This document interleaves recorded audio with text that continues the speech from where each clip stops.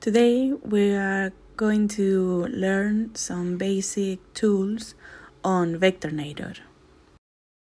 So the first thing we are going to do is create a circle the color you want. We are gonna make an orange slice, so I'm gonna make it like orange, yellow, but you can do whatever you want. So we are gonna make click on the basic forms and select the circle.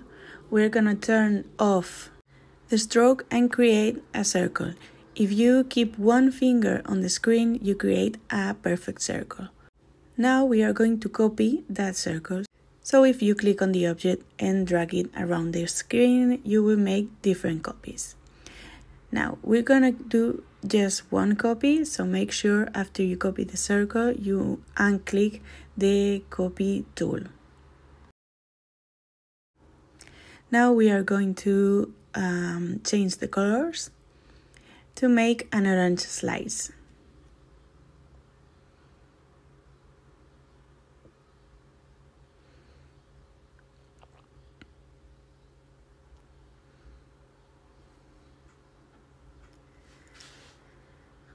we select the one on top and we're gonna make it smaller again if you uh, put one finger on the screen you will keep the shape and you can make it bigger or smaller but keeping the shape the original shape.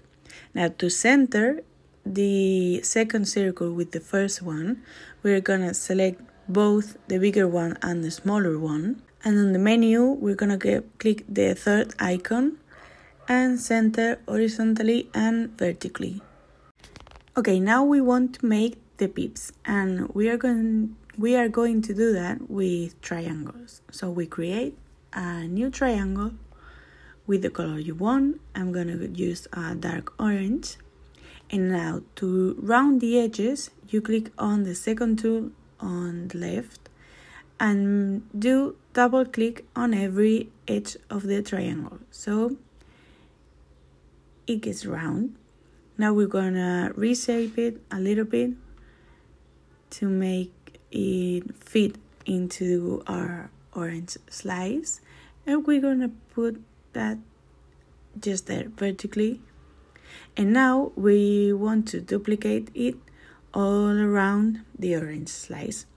So now to do this you have two choices. You can use just the copy one and with the copy tool you copy and then turn around and or make it bigger smaller or put it wherever you want.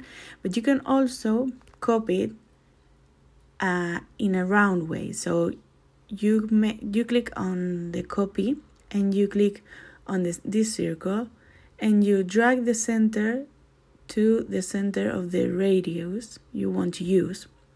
So you can copy around that point. So now you can make all the pips